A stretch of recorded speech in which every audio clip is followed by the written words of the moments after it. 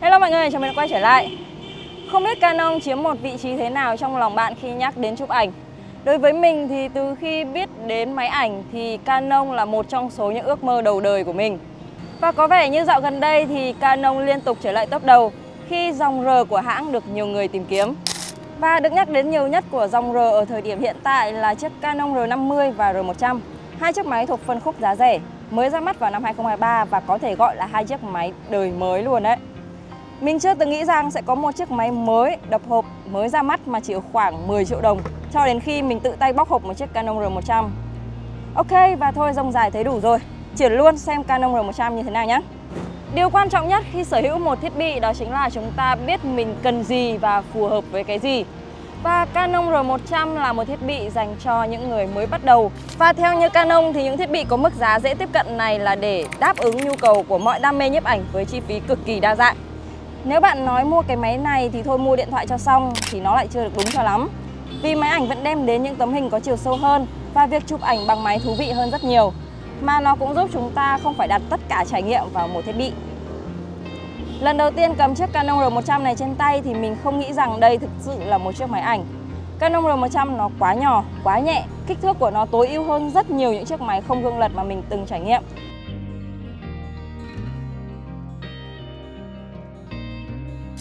Để các bạn dễ hình dung thì chiếc body R100 cả pin và thẻ nhớ chỉ tương đương với hai cái điện thoại này mà thôi.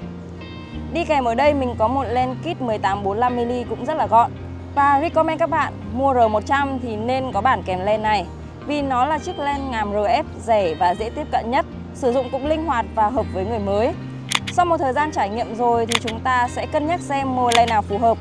Và cái này thì video sau mình sẽ nói tiếp nhé. R100 vẫn có thiết kế mang đậm phong cách của Canon à, Có phiên bản màu đen trông rất là công nghệ và không lỗi thời.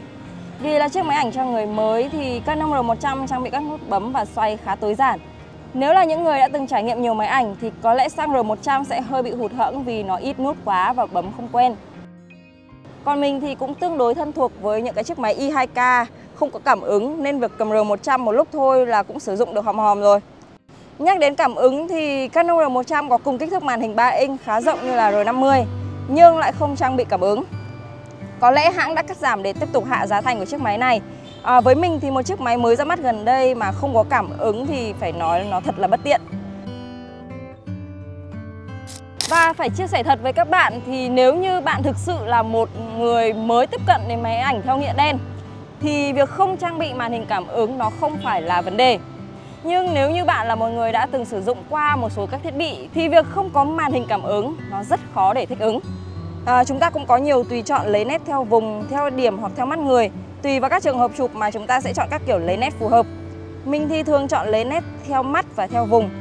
Nhưng trong rất nhiều trường hợp, ví dụ như ở những lúc mình đi chụp phố như lần trước chẳng hạn, thì việc nó không có màn hình cảm ứng là mình thao tác chậm khi mà mình lấy nét. À, nó đã khiến mình bỏ lỡ rất nhiều khoảnh khắc.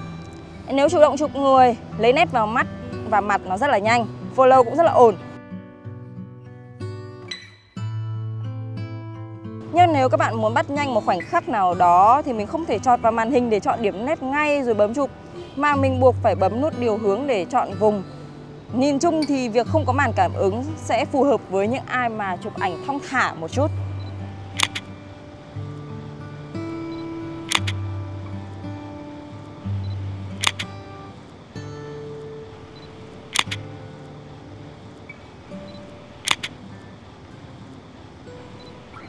Canon R100 là một chiếc máy ảnh có trang bị tiếng Việt. Nó rất dễ sử dụng với bất kỳ ai mà menu của nó cũng đơn giản luôn. Thiết lập các thông số cơ bản xong là chúng ta có thể yên tâm sử dụng mà không phải thay đổi quá nhiều. Lời khuyên của mình là nên bật cả chụp RAW lên nhé. À, dù phần lớn người mới sẽ luôn sử dụng ngay cái ảnh JPEG à, nhưng nó sẽ có một lúc nào đó cái tấm ảnh mà bạn thích nó sẽ hơi chưa ổn một chút thì lúc này bạn đã có sẵn cái file RAW để thử vọc vạch và chỉnh sửa nó để nó hoàn chỉnh hơn. Pin của R100 cũng giống với R50 và như đồng nghiệp của mình có nói về thời lượng pin của R50 ở video trước đó thì bạn ấy không đánh giá cao và thấy pin hao khá là nhanh. Nhưng, nhưng và nhưng. Đó là trên R50 chúng ta có một cái màn hình cảm ứng để bắt nét và chọt chọt liên tục. Còn trên R100 thì nó chẳng phải phục vụ một cái tác vụ nặng nề nào cả. Vậy nên thì nó không hề hao pin như chúng ta nghĩ. Và với một cái viên pin này của R100 thì trong một buổi chiều mình đi chụp khoảng hơn 200 shot và bật máy liên tục thì nó cũng chẳng hao đi cái vạch pin nào cả. Và nếu như để chắc chắn và yên tâm hơn thì các bạn nên trang bị thêm một viên pin nữa.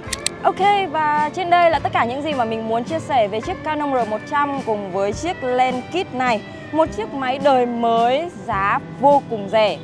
Và nếu như bạn có thắc mắc nào đó về chiếc máy này thì đừng quên hãy để lại comment bên dưới và mình sẽ phản hồi nếu có thể nhé. Và bây giờ thì mời các bạn hãy xem một vài bức ảnh shot on Canon R100 của mình và đánh giá xem nó như thế nào nhé.